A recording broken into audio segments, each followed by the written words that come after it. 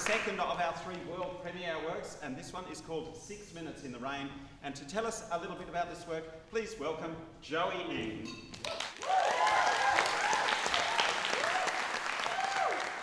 Um, yeah, my piece is called Six Minutes in the Rain. Funnily enough, it runs for six minutes. Um, it's a piece that I've tried to recreate what the rain sounds like. To me, the rain's a very calm and peaceful thing. And I kind of wrote it while I was going through a lot of change in my life. And like the rain, you can't stop the rain and you can't stop change. So, as such, even though there might be some storms, turbulence, some bad weather, at the end it's just rain. And that rain will help us to grow and change, hopefully for the better. And that's basically what this piece is about in a nutshell. So thank you for listening and thank you for coming and please enjoy.